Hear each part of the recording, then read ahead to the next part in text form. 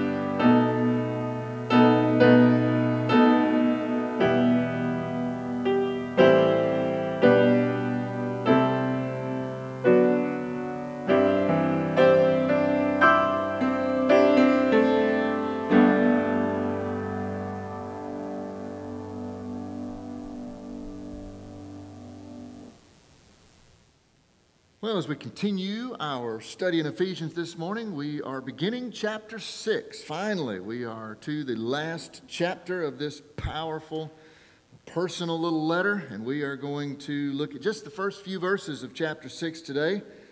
Continue our study of how we walk and live as Christians, followers of Jesus, alive in Christ. Today, really coupled with what we talked about last Sunday at the end of chapter 5 and Paul's instructions for the father and the mother to be first uh, a godly husband and a godly wife. Today we look at Christ centered parenting. Again, very much in line with that portrait of a Christ centered home and marriage that we talked about last week. So, really, to save a little time this morning, let me just say that the introduction for this message is basically the message from last Sunday. Uh, now, all of that said, you're going to have to go back and, and dig into that a little bit more. But let me just kind of summarize it this way. No, Paul does not say, set a good example for your children, quote, unquote. But it is clearly implied in the verses that we studied last week that a Christ centered marriage is the only way to produce Christ centered parenting. It's the only way.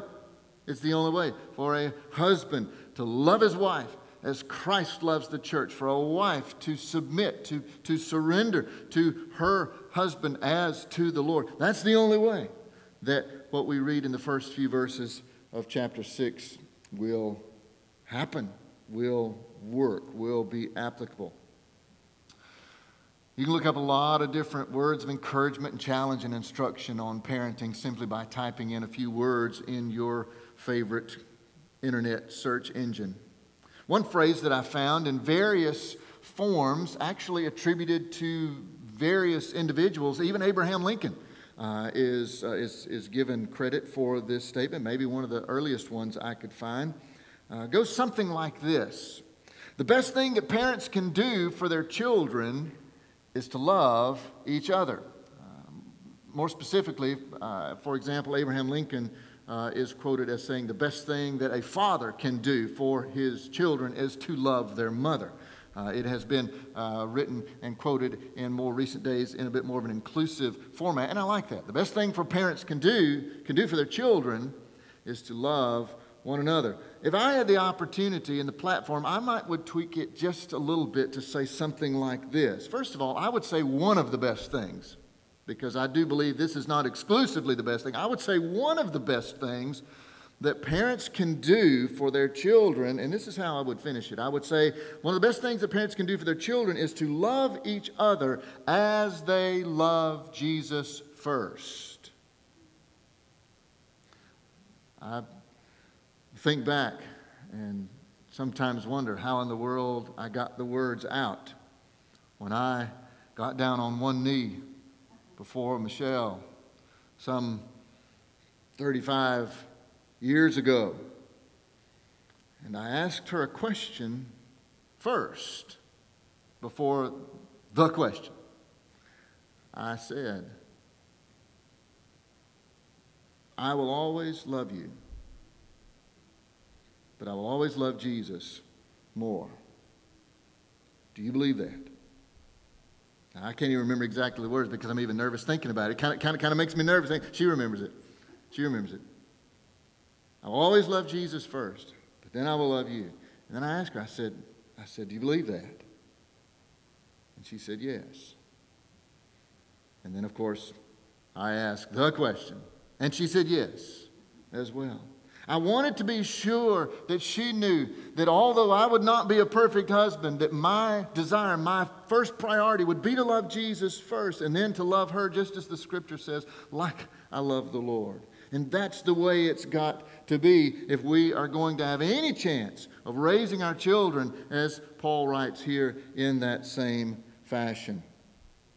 Listen, we know this. We see this, especially if you now have grown children, if you've even uh, had that influence on your grandchildren and nieces and nephews, and you've seen them grow up before you. Parents cannot make the lifelong, life directing decisions for our children. Parents cannot make those decisions for, uh, for their children as much as you would want to. Now, I do understand and I fully believe, and I'm, I'm very much a proponent of, despite what uh, is being uh, spewed from uh, so many uh, liberal outlets today, anti family outlets today. But when they are young, yes, we can make some of those choices for them, and I believe that it is our biblical responsibility to do so. I mean, we, we, we teach them, we talked about walking, and we teach them where to walk and how to walk. And when they're able to reach up on the stove, we teach them that it's hot. When they discover the electrical outlets on the wall, we teach them that, that those can hurt them. It frustrates me. In fact, it breaks my heart today that parents are allowed to, to teach their children not to play with fire, but then they're told, don't you dare teach them uh, what it means to be a boy or what it means to be a girl. You let them decide. That's baloney and a whole lot worse. We are called as parents while our children are young and, and, and, and, and learning and growing physically, mentally, emotionally, spiritually to be the responsible party in their lives, teaching them, yes, when they're young. However, just as important is helping them see and learn those right, godly choices. That is that, that, that responsibility as such is for a limited time. It is. However, we must realize that just as important as the decisions we make for them when they are young is the foundation that we lay for them and that we pray and allow God to lay for them and with them that they will build on for the rest of their lives. And this gives me really a lot of clarity when I come to one of those verses that has caused a lot of confusion or at least concern that we read in the book of Proverbs. If you read along with us in Proverbs last year, you came to this verse several times. Chapter 22, verse 6. Train up a child in the way he should go, and even when he is old, he will not depart from it. That's caused a lot of struggle because we're not sure if we're to take that literally, figuratively, metaphorically, or somewhere in between. I believe what we're talking about this morning will give us some clarity to that verse because, yes, as we guide and instruct our children that the scripture commands us to do as parents, we're not just teaching them things to do and things not to do. We are laying a foundation, and a foundation is being built upon which they will eventually, when they are making those choices, build upon. And even if they build upon that solid foundation with junk, and the world sweeps through and rushes through like a hurricane and blows everything down, they will not be able to escape the foundation upon which all of that was built.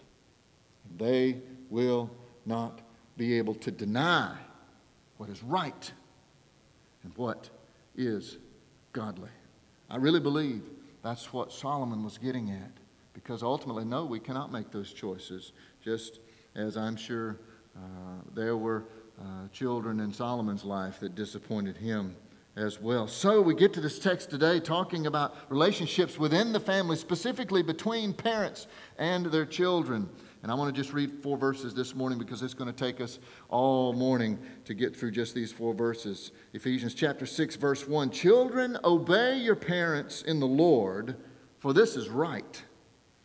And he goes all the way back to Exodus Honor your father and mother, which is the first commandment with a promise, so that it may be well with you and that you may live long on the earth.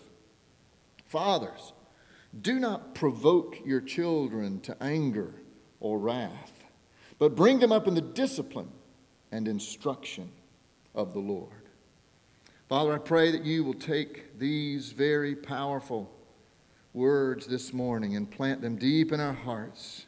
And I pray that we would not only see the way that you have called us to walk, to instruct and guide the children that you have given us that are our own, and perhaps those that you have given that are around us in our community but Lord, I pray that you would give us the courage to walk in your steps and in your word. In Jesus' name, amen. Paul really uh, mentions just two things in these four verses. There's not a, not a very large outline that we need to write here. The first one is specifically to children, and he talks about and he instructs here children who obey and follow the Lord. children who obey and follow the Lord. And it's really direct, so as such, we could just read it and move on, but I want us to see it in the light of what Paul, as we've already talked about, has already written, but also in the light of Scripture, because some would say, well, now Paul wasn't married, Paul didn't have kids. Well, neither was Jesus. So, does that mean we need to ignore their words when it comes to family and parenting and children? I think not, because we believe that all Scripture is given by inspiration of God, and it is good for instruction into righteousness. What do we see not only here? What do we hear not only here, but all throughout the Word? First and foremost, I believe what Paul is highlighting and why he addresses this, even though he doesn't necessarily have the personal experience that we might would want. Paul is declaring here firmly, I believe children are a gift from God. Children are a gift from God. One of the two Psalms that we have in, in the book of Psalms that is attributed to King Solomon couple of the Psalms that we know of are directly attributed to King Solomon Psalm 72 and Psalm 127. Now, Solomon wrote a whole lot of other things for sure, but in the Psalms, a couple of those Psalms are attributed to Solomon. And one of those Psalms, 127, verse 3, says this Behold, children are a gift from the Lord. The fruit of the womb is a reward. Now, that is a declaration worth remembering, especially in the modern age that we are in now, where there, where, where, there is literally a movement among young couples to live and to take all of their wealth and spend it all them, on themselves. And they're going on social media even and bragging about the fact that they don't have children and they don't want children because children are just an inconvenience and they're just going to build them, build their lives on themselves.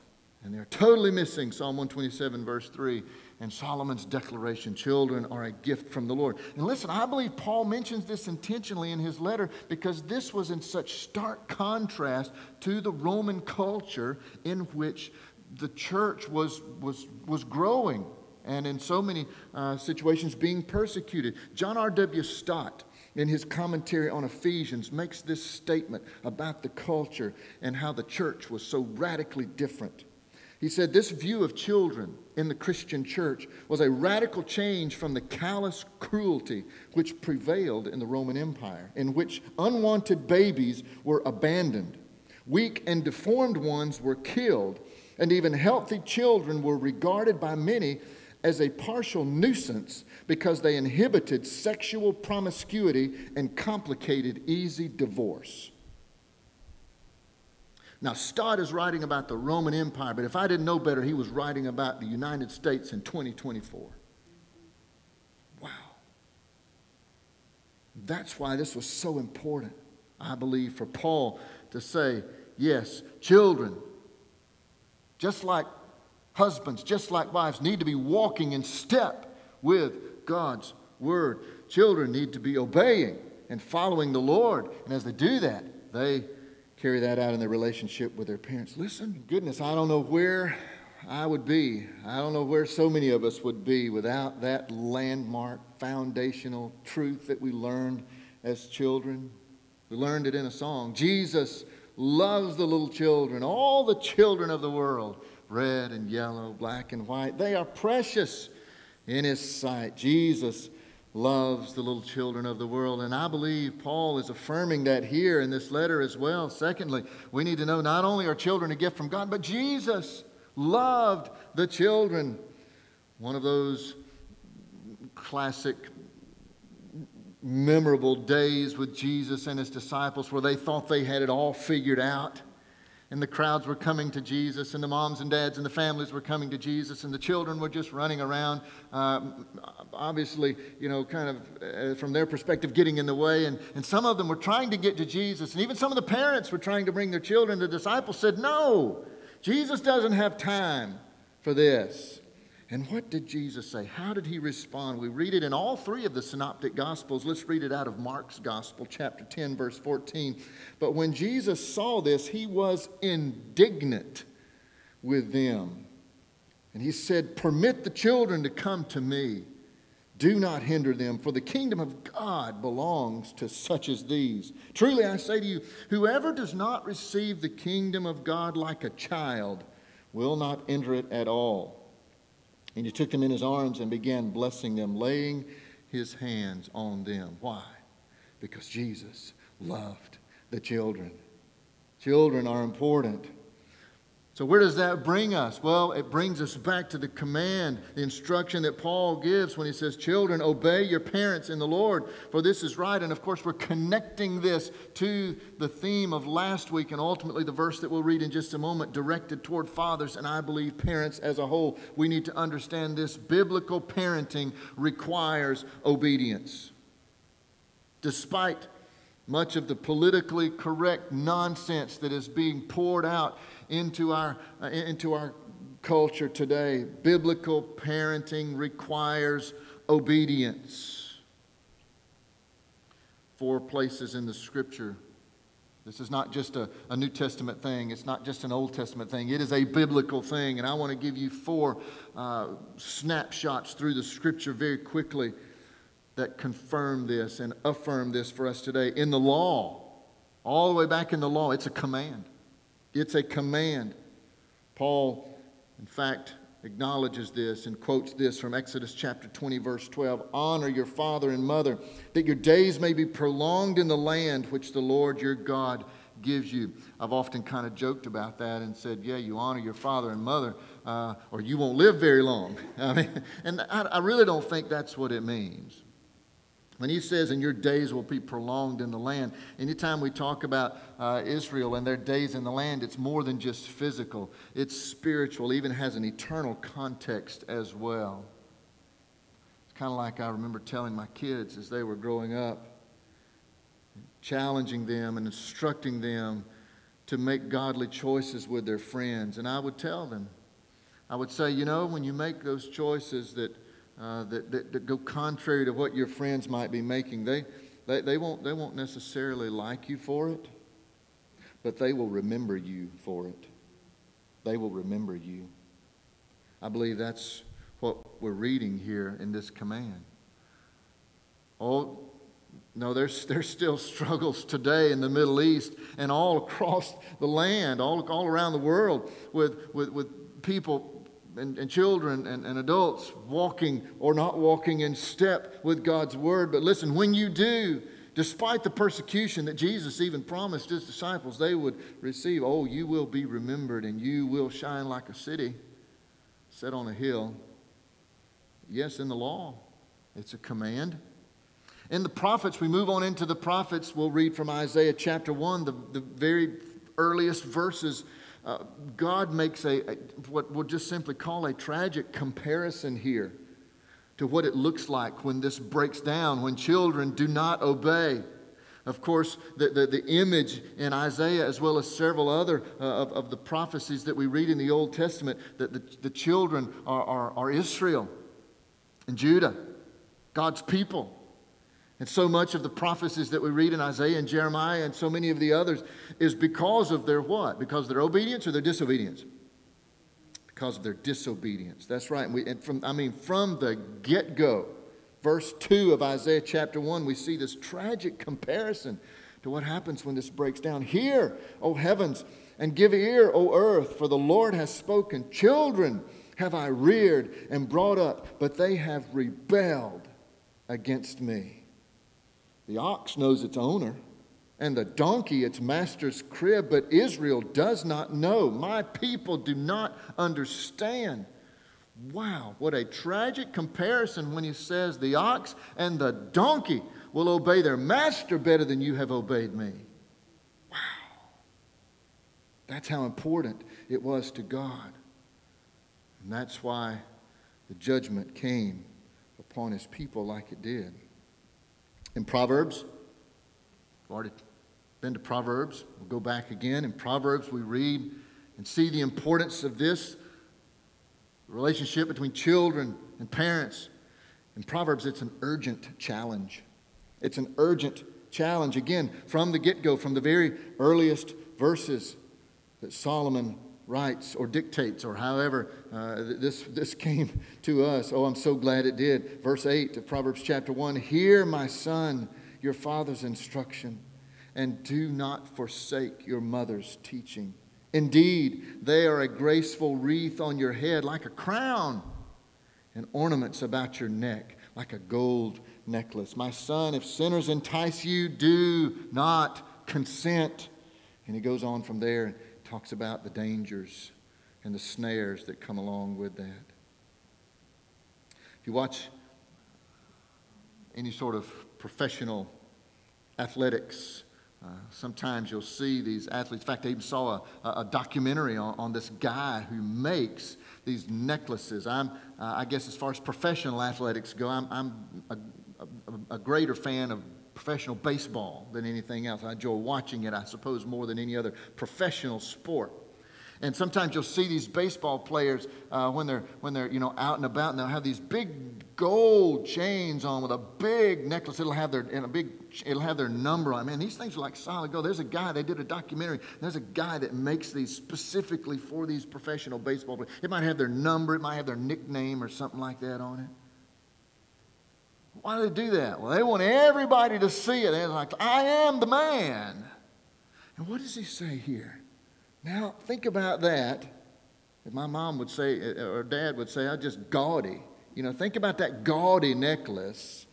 But what does he say about obedience? Solomon says about obedience to parents. He said it's, he said it's, like, a, it's like ornaments, it's like a beautiful necklace around your neck. So, so that others can see. I mean, that's why you wear a necklace. I mean, yes, it does. It's worn to enhance, you know, your own beauty, and it does, but then it's for others to see as well. What a challenge. But then back to the Gospels, back to Jesus again. And Jesus here, instead of making what we saw in Isaiah as a tragic comparison, Jesus makes us a kingdom comparison. A kingdom comparison. In Matthew 18, verse 1, Matthew writes, At that time the disciples came to Jesus and said, Who is the greatest in the kingdom of heaven? Isn't that just wild that here Jesus was teaching them and showing them firsthand what it was to be a servant? And they kept wanting to know who was the most important, who was the greatest. But instead of just, you know, smacking them on the head, what did he do? I, I, I almost imagine he just maybe even sat down because he called a child to himself and set him before them. And he said, Truly, I say to you, unless you are converted and become like children, you will not enter the kingdom of heaven, which echoes what we read just a moment ago when he called the children to himself, really. And look at verse 4 Whoever then humbles himself as this child, he is the greatest in the kingdom of heaven. And what is the kingdom comparison to today? It's the same thing that Paul is writing to the Ephesians and the children there in the church saying, Children, obey your parents, humble yourselves before the godly leadership of your parents. And you see, again and again and again, we must remember, we must be convinced that this framework for obedience must be taught at home. The foundation is built more at home, or it is not built more at home than anywhere else. Why? Why? Well, I don't want to be negative all morning, but I, I, would be remiss if I didn't say it again why this is so important. It's because our school systems, so many today, our school systems, our medical systems, our political systems today are doing everything they can to take that control away from the parents to whom this responsibility was given by God. Now, I'm not saying that, that, that, that, schools are not important and doctors are not important and politicians are not important, but they are not the ones whom God designated to build the foundation of faith and morality in our children. It begins at home. It must begin at home. So let me just make a couple of direct statements to children this morning. First of all, younger children under the care and the provision of your parents. While you are under the care and provision of your parents, you are to honor and obey them as you obey the Lord first. I'll, I'll, I'll dig that apart just a little bit in just a moment, but not much. While under the care and the provision of your parents. The Bible is clear. Children are to obey their parents, but even as he says here, we must say, in the Lord, for this is right. But I would also make an, uh, a challenge to adult children this morning. Now, we're all children one way or another. Some of us still have our parents with us.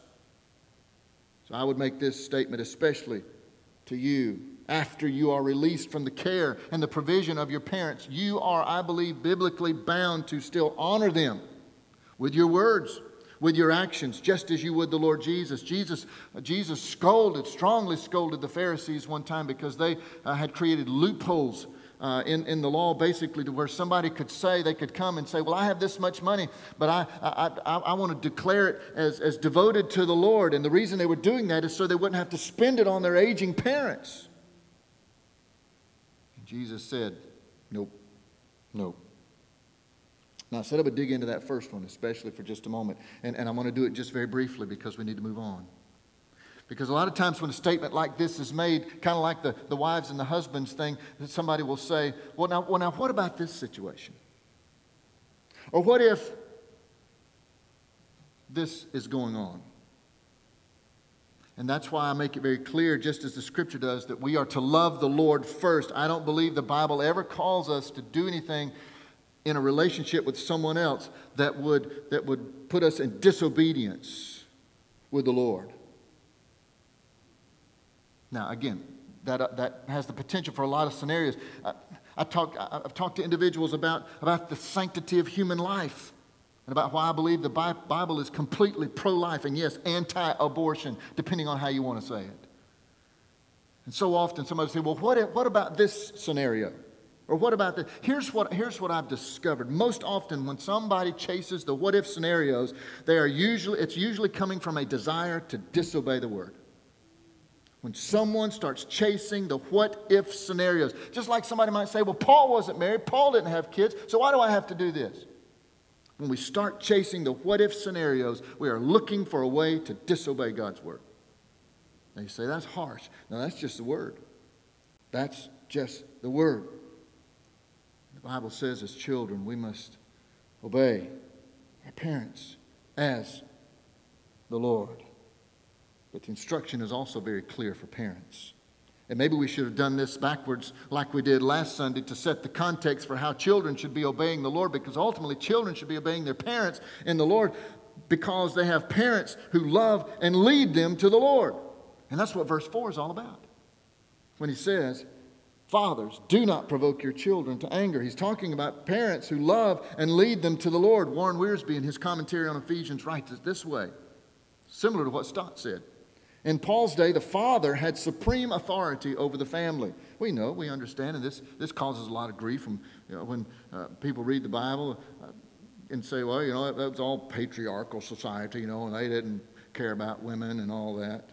Well, yes, true. The culture of the day was patriarchal. In, in Paul's day, the father had supreme authority over the family. I believe that's why he's giving this very strong direction to the fathers. When a baby was born into a Roman family, for example, it was brought out and laid before the father. If he picked it up, it meant he was accepting it into the home. But if he did not pick it up, he meant the child was rejected. It could be sold, given away, or just put out of the house and die by exposure.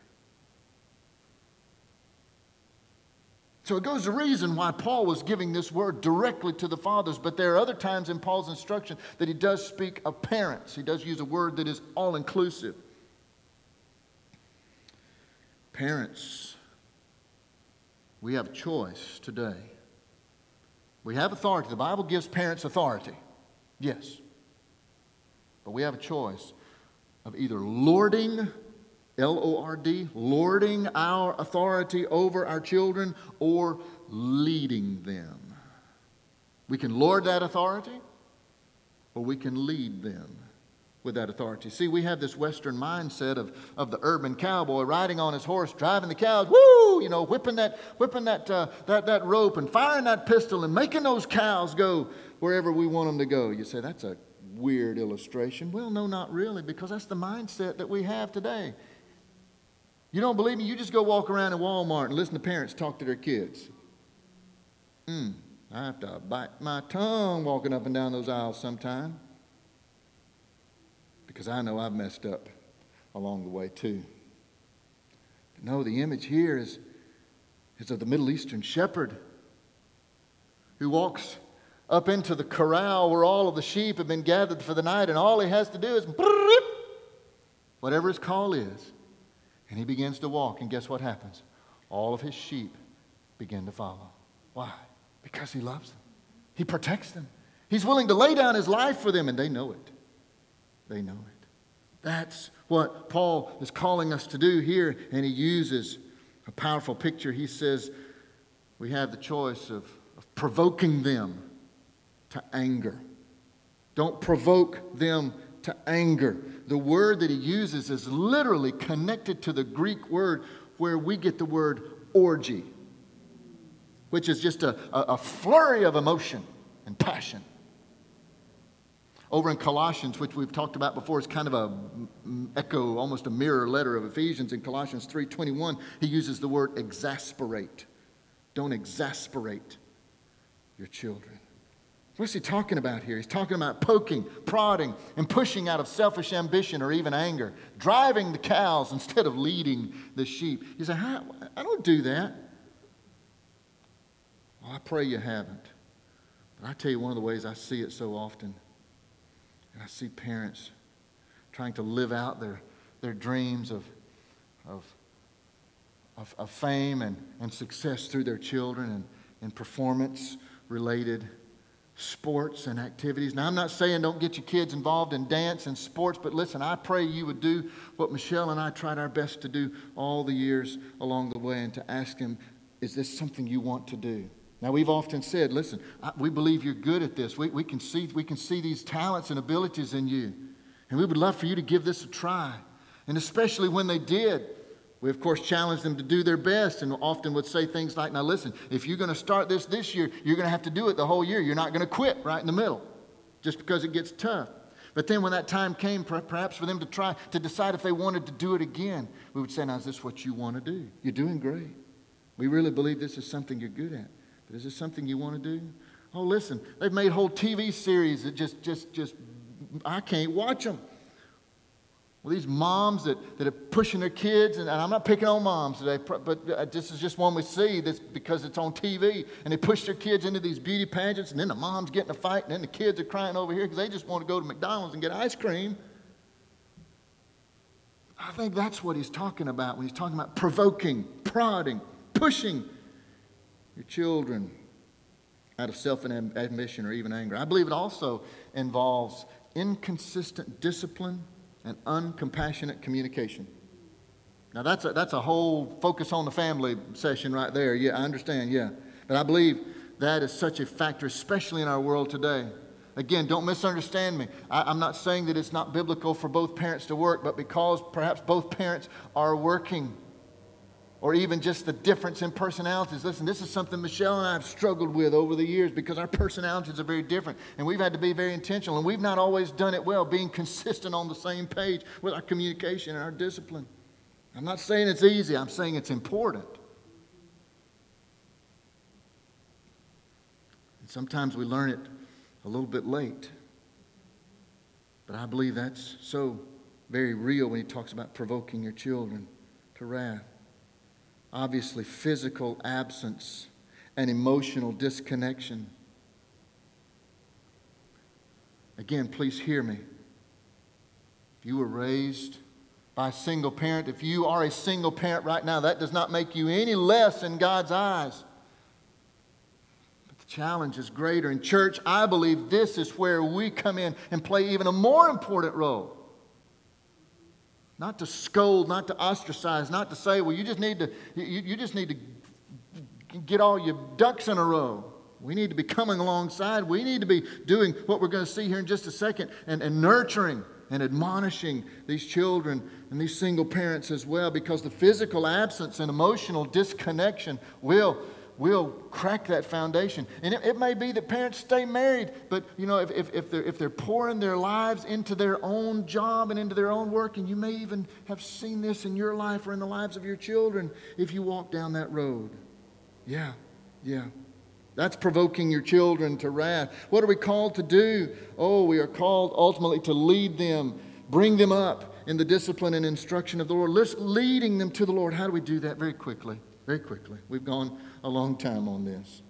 He says, bring them up. The word there is the same word that we read back in chapter 5, verse 29, where, where Paul encouraged the, uh, the, the, men to, to, to nourish their own bodies so that they could take care of their wives, to take care of themselves. That's the same word here when he says bring them up. It's the same word to nourish. It means to feed, nourish them. How?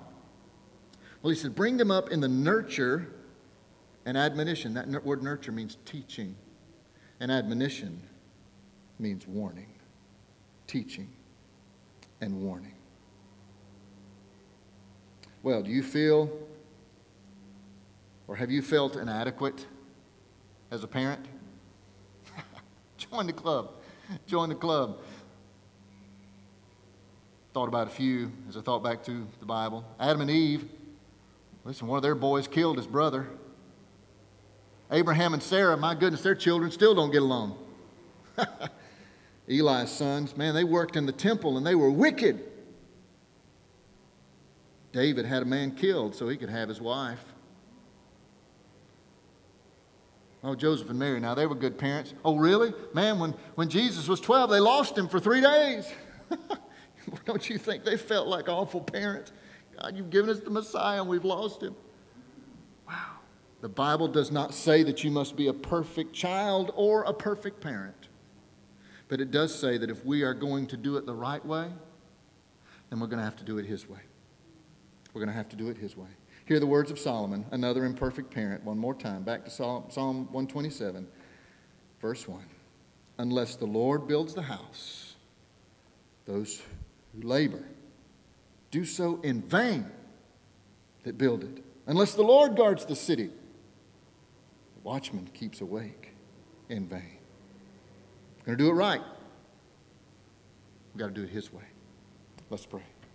Father, thank you. Thank you for the challenge of your word today. And Lord, I simply pray. We all fall into the category of children. A lot of us fall into the category as parents, some grandparents, even great grandparents and beyond. I pray today we would see and hear again the challenge of your word.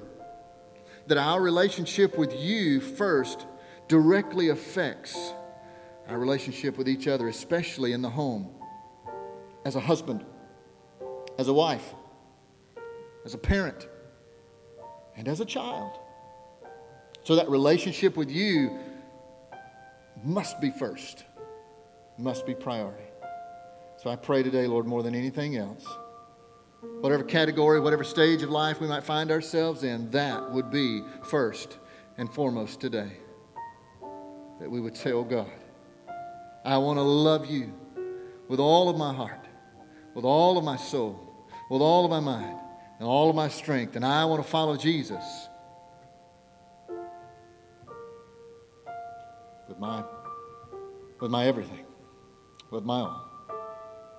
Father, I thank you for that call once again today to love you first, to teach, to transmit that love through our homes today.